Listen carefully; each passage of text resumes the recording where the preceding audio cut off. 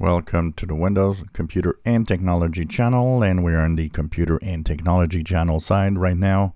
We don't talk about it often, but when there is, I like to actually talk about it because it's not because you're a Windows user that you don't necessarily have Apple products.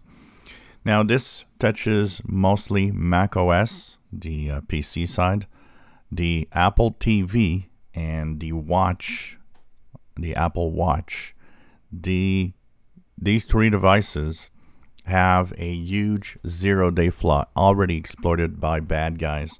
So that means hackers can all uh, already attack your devices with the security flaw that has been fixed today. So if you have Mac OS Big Sur, which is uh, the latest version of uh, Mac uh, OS operating system um, at 11.6, if you have WatchOS 8.6 and tvOS uh, 15.5, um, this is something that you need to actually check for updates.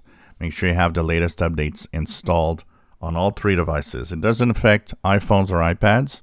They seem to be immune to that problem.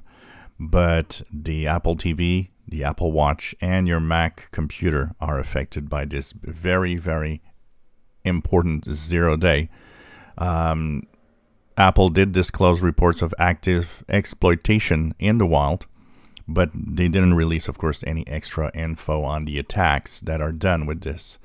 So this is very important to actually do so. And uh, basically, all of these updates um, will fix the problem, and you'll be back with um, devices that are running um, secure. So, like I said, any device, any um, operating system, whatever the company, no one's safe without updates. There are always some security flaws that are discovered. So make sure that you update your devices and uh, that you are at the latest version for the Mac OS. Uh, was released today, the uh, May the 15th, 2022. And of course, um, this has been disclosed a little while back. They took uh, the time that they had to fix it and now it is uh, important to actually fix all of this.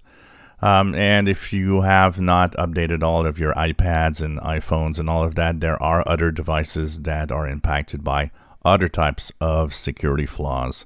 So make sure that, you know, if you have Apple devices like that, why don't you just go around all of those devices and make sure that you're up to date and the software updates. If you enjoy my videos, please subscribe, give us thumbs up. Thank you for watching.